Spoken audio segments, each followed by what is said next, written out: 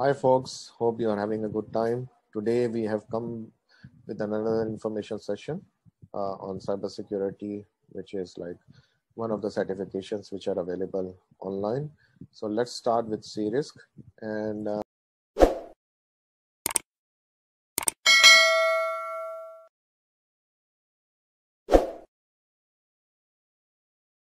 CRISC is one of the ISACA's certification, which is certified in risk and information system control.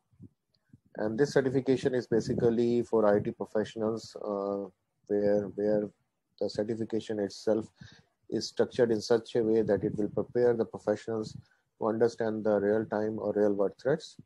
And it gives some tools and techniques and governance and uh, methodologies to mitigate the risk which may exist in the IT environment. Now, the CRISC certification is basically is uh, one of the comparable IT security or cyber security certification in the sense that it teaches and gives you knowledge and expertise in the risk management. And everything with respect to the security or with respect to the threat environment it is starting from the risk management process. So CRISC certified professionals helps the organizations or enterprises in understanding the business risk. And they possess a technical understanding how to implement the most important useful information security procedures and controls within an organization. So that is all about CRISC and CRISC was started uh, from ISACA itself. And ISACA itself was founded in 1969 so and uh, in addition to this one uh, ISACA also offers CISA, CISM, CRISC, corporate govern uh, certified in governance of enterprise IT. But since we are talking about CRISC, and you can see the career path leads to chief risk officer, and it focuses on the risk management, and uh, it is one of the most valuable certification offered through ISACA's platform. Now, ISACA defines four risk, uh, CRISC domains on which uh, the candidates will be examined or will be tested. One is IT risk identification, IT risk assessment, risk response and the mitigation, risk and control monitoring and the reporting, which represent 22% of the exam questions, and rest of the domains have 27% for domain one, 28% for domain two, and 23% of the questions will come from domain three. So it gives you a pretty good idea about the four risk domains in CRISC. Now the certification is beneficial to the following professionals. As you can see, there can be business analyst also, compliance professional, control professionals, IT professionals, project managers, risk professionals, and anyone who manages a company, IT risk and control should add this certification for their skill set.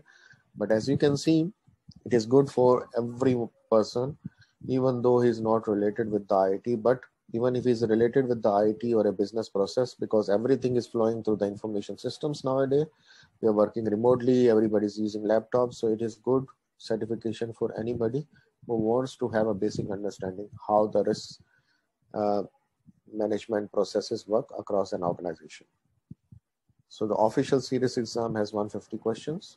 Okay, you will get four options and the grading of the mask, uh, marks are on the scale of 200 to 800 points and the scale score of 450 or higher is considered to be pass and uh, they will it will allow you uh, to have a CRISC certification.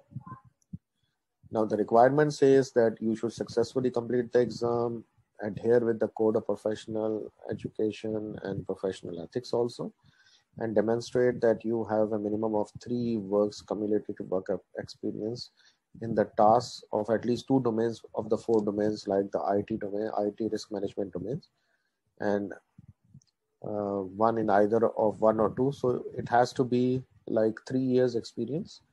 And uh, either you have worked in the IT risk management field on the operational side or the audit side or the implementation side or on the governance side. So if you can prove, you can apply for the CRISC certification and then after the approval of the application, you will be allowed to use CRISC icon with your profile.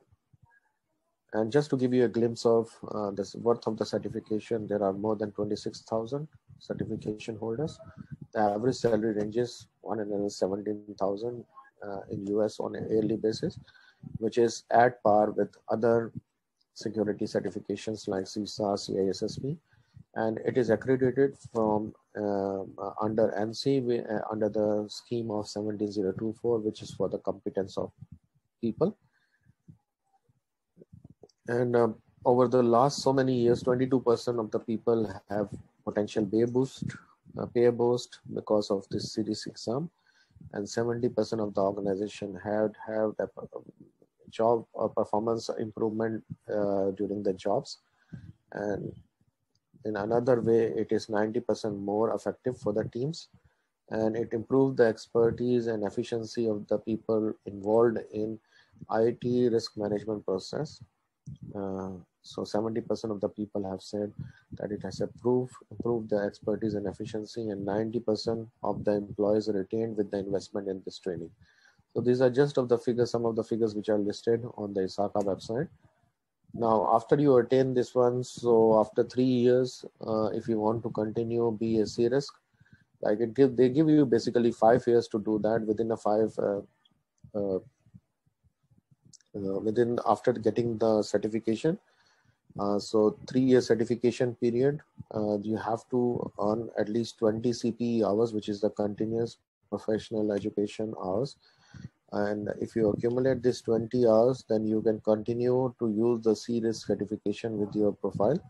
And after passing the exam, there is a uh, period, and after the period is over, you don't need to sit for a recertification or, or resit for the exam. You can uh, prove that you have earned continuous professional education or continuous uh, like education hours while uh, delivering the courses, uh, working in an IT environment, uh, paying back to the profession, which is like giving lectures in ISACA events. So this gives you a CP requirements, and then it allows you to maintain the CRISC exam and uh, will give you that uh, you have to earn for three years 120 hours 20 hours per year. And you have to pay uh, the maintenance fees of $45 once you are certified through an application process. And 45 is for member 85 is for non-members. And you have to comply with the annual cpe audit if you are selected for that particular activity. We apply they will either accept it approve it or they will select some uh, CPE claims for audit. And most importantly, we have to comply with the ISACA's code of professional ethics. And uh, by doing this, we can maintain this is uh, certification along with our profile.